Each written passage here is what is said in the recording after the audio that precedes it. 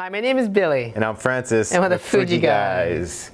We'll have a closer look at the FTP optional settings menu and get you started uploading these files right away.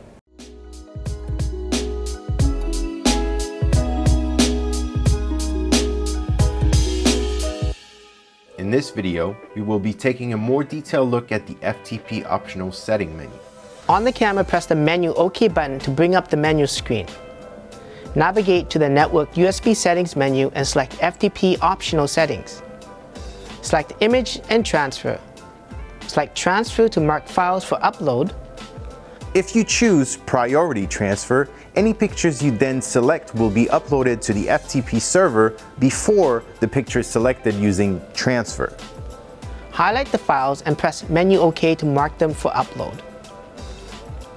To select all files, press the Q button. Selecting any two files with the AEL button also selects all files between them. Press Display Back and select Start Transfer. The selected pictures will be uploaded to the FTP server. You can filter image by date of capture, rating, folder, or protected images, or switch memory card slots.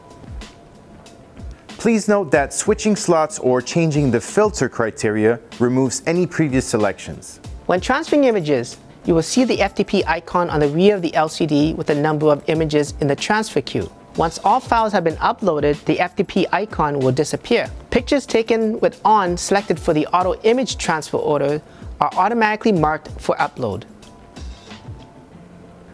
In the Select File Type menu, you can choose the type of files uploaded to the FTP server.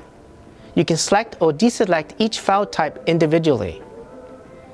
You can add captions to photos and movies during the upload from the Captions menu. Captions will be saved in the EXIF data under User Comments.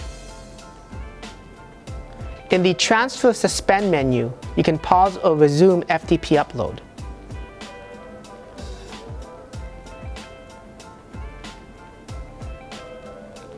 If on is selected for the image transfer while power off menu, upload of files to the FTP server will continue while the camera is off. If on is selected for the FTP power saving menu, the file transmitter will turn off to save power when the upload of all pictures currently marked for transfer is complete. Marking additional pictures for upload turns the transmitter on again. Copy a unique root certificate to the file transmitter from the root certificate menu.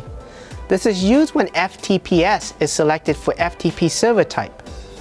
Use the Reset FTP transfer order to remove upload markings from all files selected for upload to the FTP server.